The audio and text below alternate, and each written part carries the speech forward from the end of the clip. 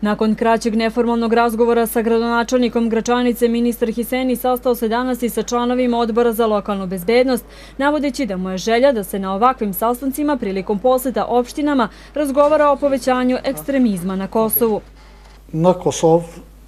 Kemi pranitë Možemo da kažemo da imamo građane sa Kosova koji su deo međunarodnih terorističkih organizacija u Siriji i Iraku i kao država ne smemo da zatvorimo oči pred takvom vrstom istine.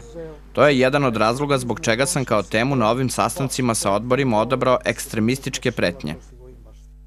Međutim, članovi odbora u razgovoru sa ministrom istekli su značaj svog rada, informisali ga uspesima i zatražili veću podršku. Gradonačelnik Gračanice Vladeta Kostić zatražio od ministra da se na teritoriji opštine poveća broj policajaca.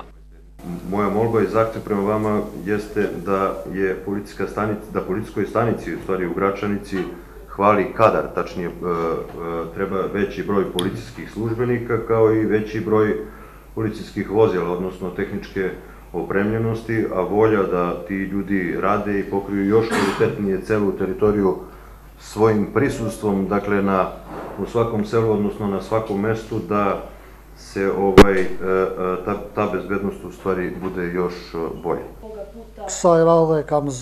Ne mogu da vam obećam da ćemo brzo povećati broj policajaca zato što je potrebno da ih najpre školujemo, a da ih nakon toga rasporedimo po opštinama.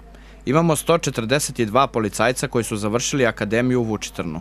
Oni su trenutno na praksi i nadam se da će jedan broj biti odvojen i za vašu opštinu. Na sastanku je takođe zatraženo i da se poveća broj Roma u policiji Kosova kako bi i bezbednost i sigurnost bili na većem nivou. Odgovor ministra bio je da za svakog ko želi da nosi uniformu nije bitna nacionalnost, već profesionalizam.